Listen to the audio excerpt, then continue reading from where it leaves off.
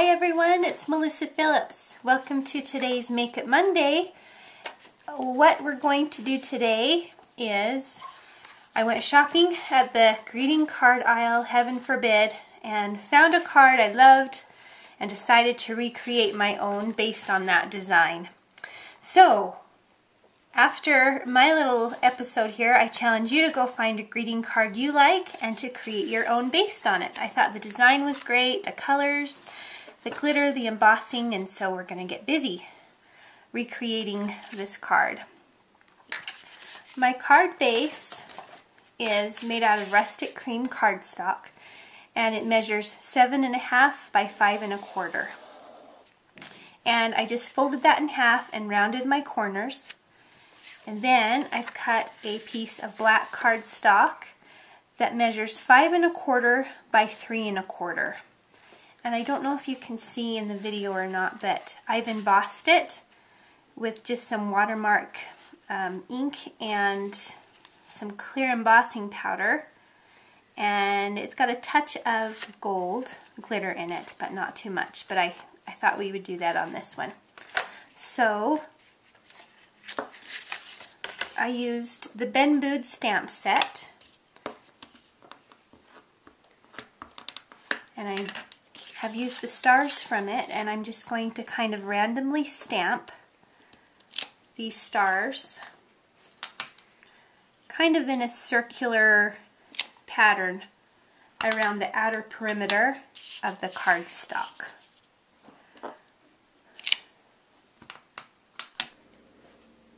Okay, and here we are with the embossing done. Hard to tell, but it's there and it really does add a lot to the card. So I'm just going to adhere it right here along the fold and we'll leave a bit of the rustic cream cardstock showing on the other edge just for some contrast.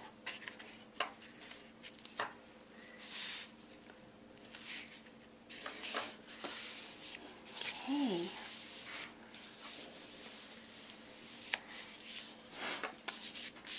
All right, our next step I cut two spider webs using the Spider Web Trio die and some Smokey Shadow Bitty Dot paper.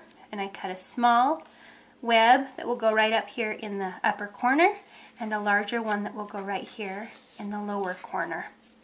Just to add a little bit of contrast and, and character. And when I'm in adhering my embellishments, such as these, that are going to have a layer over the top of them, I don't often glue the entire thing down just because it's going to be secured with another layer on top.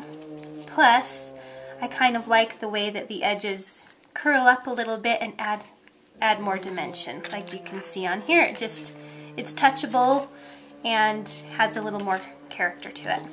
Okay, so we've got our webs down. And then I have cut a tag sale number four that I'm going to use in place of the circle. And I've used winter wisteria leaf paper. And then with my, let's see, Limitless Layers two and a half inch circle die, I cut a circle for the center of our tag out of rustic cream cardstock. And that's going to provide our focal point. So the first thing I'll do is adhere this tag down. It's going to go right, right about here.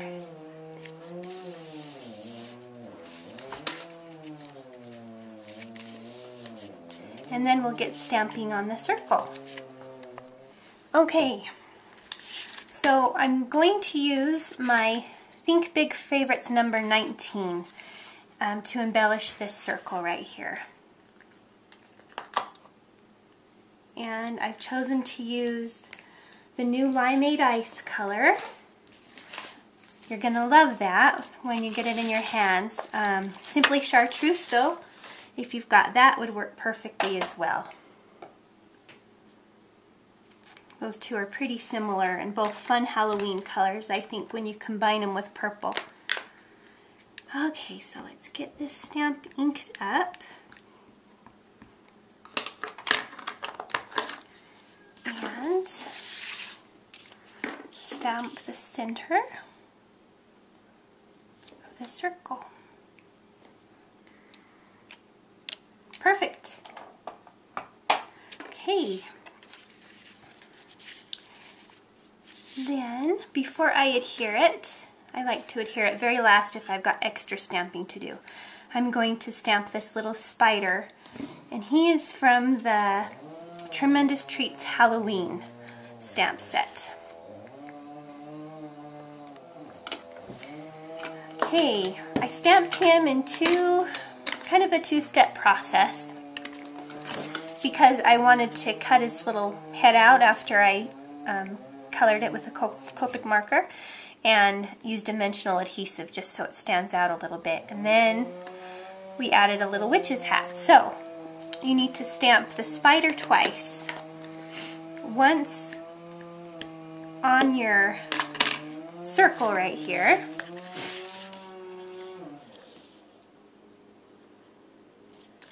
Okay. And then a second time, I just stamped it on a scrap of rustic cream cardstock.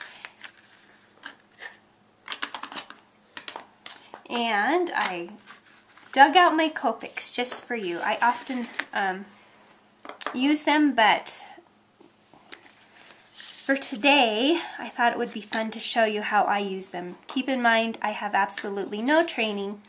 I have just watched others and kind of learned on my own. So all I'm going to do is color his little head on this little scrap. And I'm just using a coordinating orange. This is apricot actually, and it works just perfectly.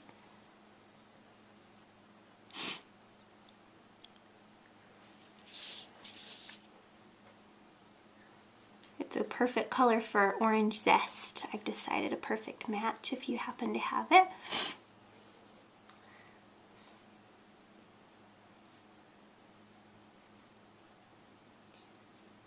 can't talk and color at the same time. I don't know if anyone else has that problem, but I'll do my best to entertain you while I'm coloring.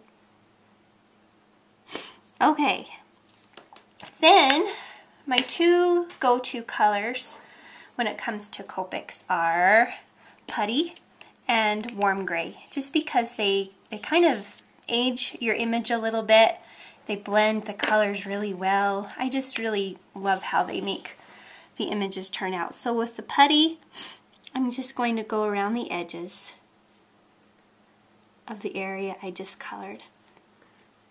And you can see how it just very, very lightly adds a distressed edge. And then I'm going to even go around the eyes.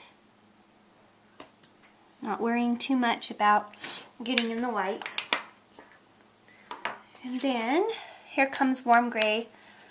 I love uh, to think of warm gray as a fix-all because it just really does blend. Almost fixes your goof-ups.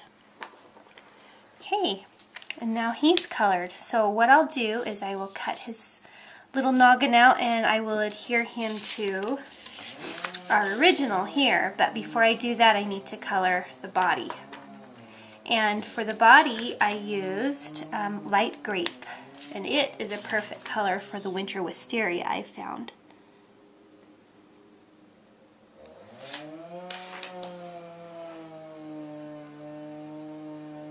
You might hear all sorts of noises here today. It's a Saturday at my house.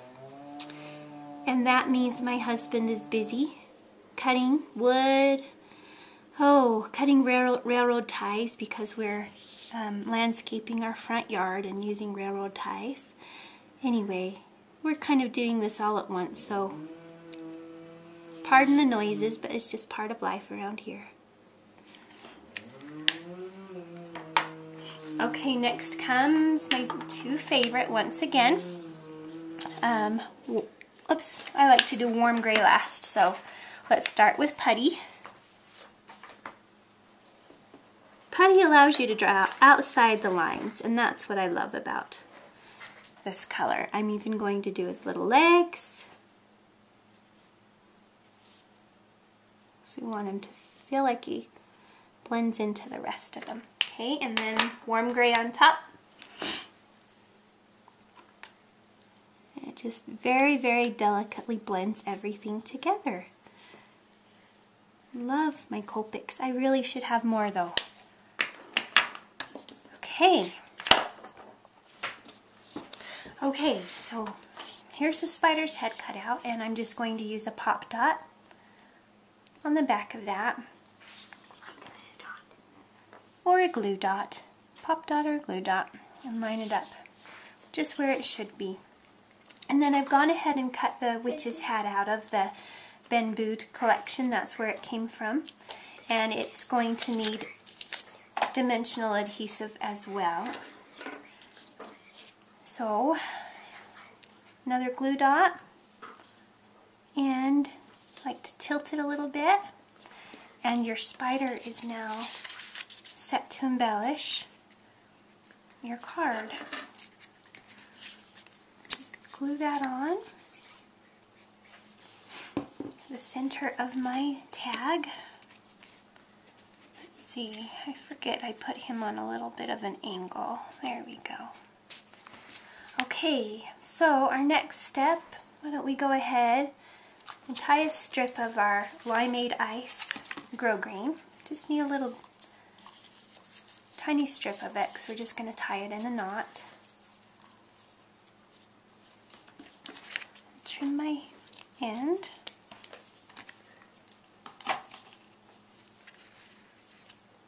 Make sure they're even.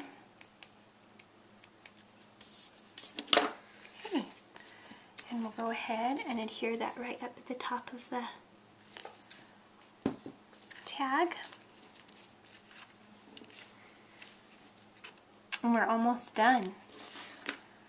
Just the fun part is remaining. Okay, then um, I figured that this card needed a sentiment and I felt like it needed something up here at the top. So I went ahead and I used the modern alphabet lowercase and orange zest felt and just die cut the word boo. So we're going to adhere that and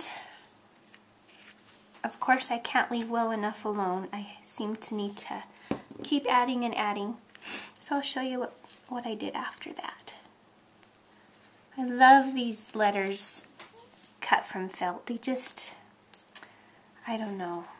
I think they take your creations to a whole another level because they add touchability, they add texture, they add interest.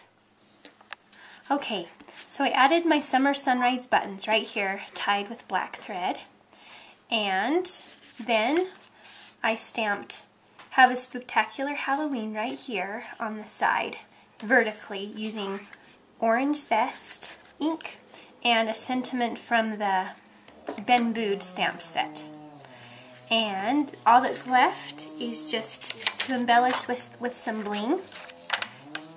I used some gems from Doodlebug and I'm just going to place the smallest one right there in the center of the bee and then just kind of haphazardly down here in the corner just to kind of create some flow and some interest. And there you have it. We've recreated a card that I found in the greeting card aisle and I had so much fun. Um, I can't wait to try another one. I'm going to try this exact same design, theme, in different colors, just using a different image right there because I think that they'd make some fun um, little card set for Halloween. Anyway, I've loved being here with you today. I hope you have a wonderful Monday and that you enjoy today's challenge. And we'll talk to you later. Thanks.